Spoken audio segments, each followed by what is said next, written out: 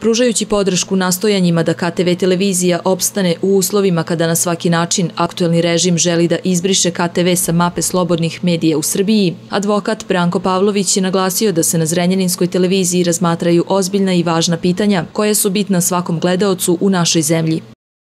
Danica Radić, vlasnica KTV Zrenjanina, vodi jednu veliku bitku, pokazuje izuzetnu hrabrost, smelost i odlučnost da odbrani nešto što je vredno za sve nas, a ne samo za nju. E, nije samo stvar u tome boriti se protiv Vučićevih ambicija da potpuno stavi pod kontrolu ceo medijski prostor. KTV Zrenjanin neguje godinama, i zaista mogu to da posvedičim i ličnim primjerom, teme koje su od nacionalnog značaja i koje zapravo nema na televizijama koji imaju nacionalnu frekvenciju. KTV Zrenjanin neguje jednu kulturu dijaloga i posle tih emisija, političkih emisija, društvenih emisija kojima se bave e, zaista važne, e, razmatraju važna pitanja, gledalac dobija mogućnost da zna više o temi o kojoj je raspravljano nego pre toga. To nisu svađalačke emisije.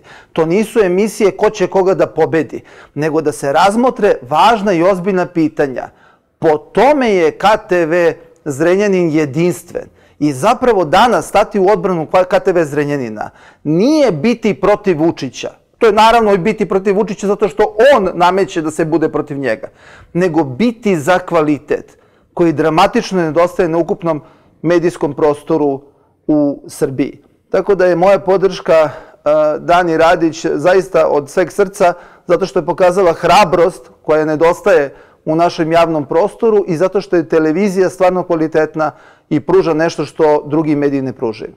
Problem dostupnosti pravovremenih informacija je u tome što mediji u Srbiji, osim časnih izuzetaka kao što je i KTV televizija, nisu u službi blagovremenog i tačnog informisanja građana. Umesto toga sredstva javnog informisanja neprestano proizvode nebitne sadržaje kako bi skrenuli pažnju sa važnih pitanja koje opterećuju svakodnevicu građana u našoj zemlji.